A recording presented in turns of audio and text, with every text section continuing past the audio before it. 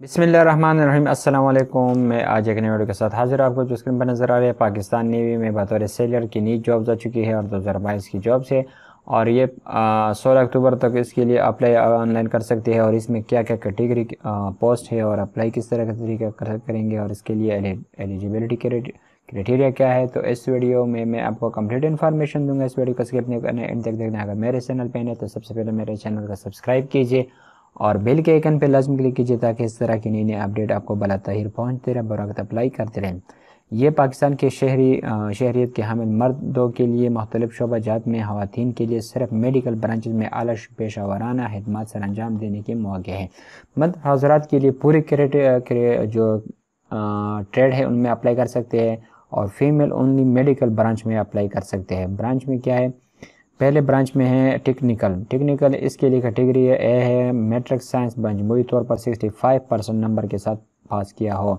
उम्र इसके लिए एकम अप्रैल 2023 तक 16 से 20 साल। और कद पाँच फुट चार इंच, एक सौ बासठ इशारे पाँच सेंटीमीटर। गैर शादीशुदा।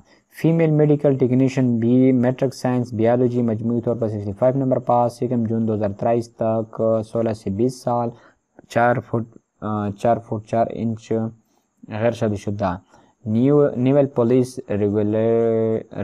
रेगुलेटिंग।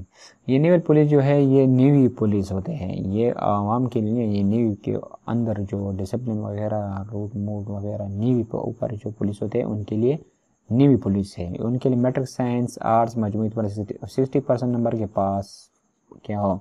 नायब खतीब जो मस्जिद में नमाज़ वगैरह इमाम वो पढ़ाते हैं, उसके लिए मैट्रिक बमाए किसी मंजूरशुदा मदरसे दरस निज़ामी में फ़ारग फाजिल सनद और इसकी उम्र पैंतीस साल है इस तरह शिफ्ट स्टोर्ड जो है एफ़ इस तरह म्यूजिशन है एम डी डी ड्राइवर है एम डी ड्राइवर के लिए चौबीस साल है सैनिटरी वर्कर हाईक्रॉप के लिए इक्कीस साल है पीटी ब्रांच है और इसके लिए अप्लाई आप 2 अक्टूबर से 16 अक्टूबर तक ऑनलाइन नीवी के वेबसाइट वेबसाइट पे कर सकते हैं।